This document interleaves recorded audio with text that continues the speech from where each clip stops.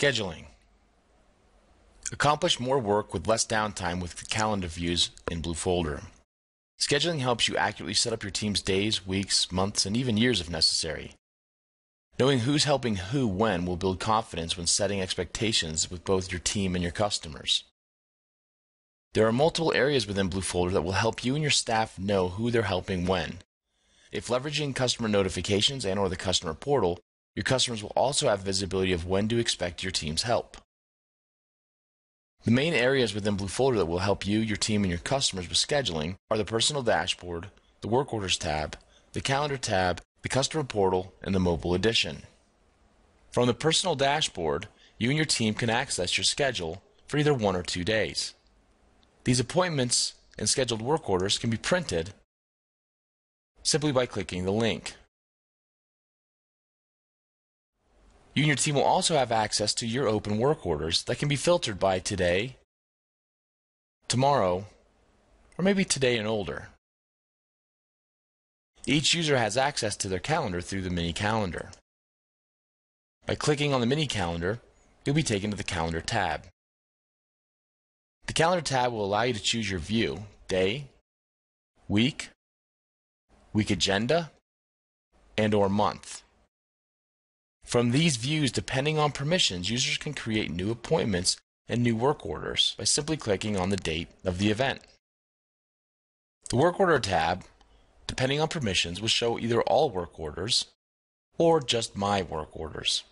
Here, again, similar to the personal dashboard, work orders can be filtered by today, today only, or today or older. As an admin, dispatcher, scheduler, you can filter down to the actual user who's assigned for, let's say, all jobs today. This is a great way to stay on top of your team and make sure your team's staying on top of their work. The Calendar tab displays all scheduled assignments and appointments. The calendar can be viewed by day, week, month, and availability. To further help your staff zero in on who can help when, the calendar can be filtered by group, as well as toggled between an individual view and a team view. To create new events such as appointments and scheduled assignments, simply click on the date and the day and create a new scheduled work order or an appointment. When looking at the team view,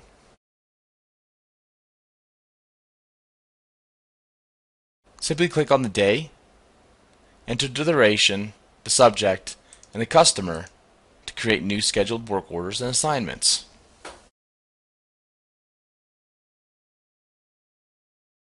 To take action on scheduled assignments and appointments, simply click on the appointment. From there, you can access the work order by clicking on the work order number.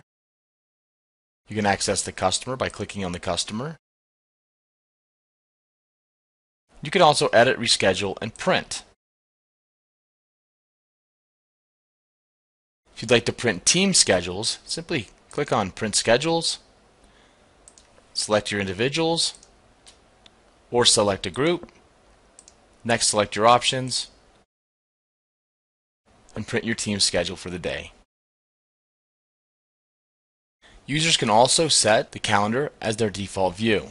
Once a user decides which is their preferred view, they simply just set the default.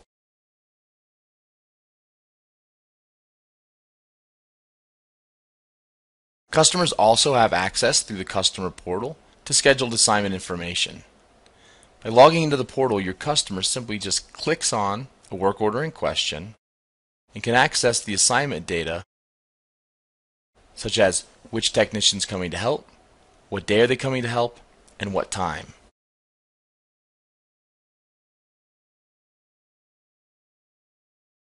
Users can access scheduling information in the field using a laptop or a mobile device. Once they log in, they'll land on their dashboard. The dashboard will show them their schedule for that day. Users can get more information about what they're doing by clicking on the calendar. The calendar will display the current day. The calendar can also be toggled by week. To access scheduled assignment and appointment information, all user needs to do is click on the work order to view their assignment. To create new events, simply click on New and choose a new scheduled work order or an appointment.